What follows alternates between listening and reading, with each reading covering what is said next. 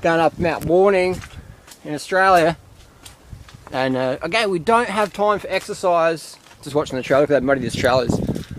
So we don't have time for exercise, we've only got time for adventure. You know, it's like exploring. When's the last time you've been up here, Chook? How many years ago?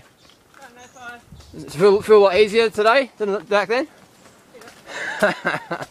we're like walk, we're just passing people and we're walking up here.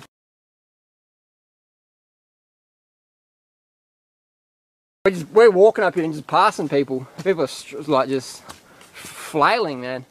But uh, it's very rocky and muddy, but it's good. It's good neuro coordination. But it's funny because, uh, so it's not funny, but it's sad. Two paleo promoters have died in the last week from heart attack.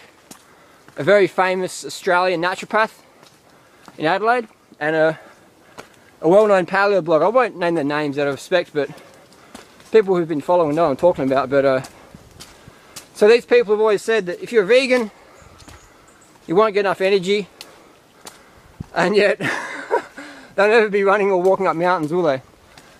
But they say that saturated fat is good for your heart. It's good for your heart, man. Eat lots of saturated fat. And now they're dead from heart attack. So that's more paleo primal people dead from heart disease.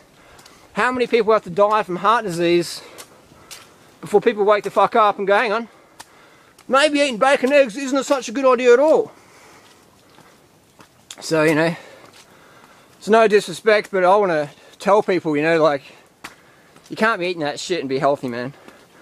You know, like, look how fat people's faces are. When you get a lean face, when you get like 2% body fat, people start to freak out. Because everyone's so fat in society, man. So my tip with the paleo diet, that shit's fucked up, man. give you a heart attack, give you heart disease, increase your chance of cancer, obesity, osteoporosis, arthritis. Just look, look what's happening, man. Judge by results, not by theory.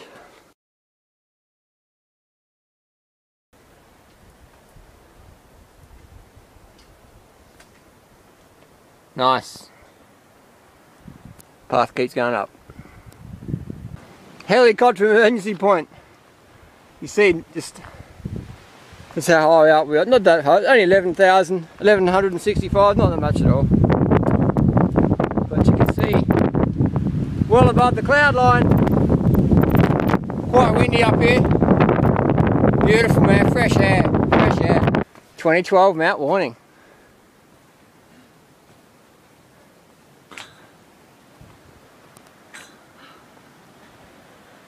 This is the place where you see the first sunrise in Australia on the eastern side, boy can't see the clouds are sort of, here we go, we cloud coverage blowing over there. Nice. On a clear day it's really pretty.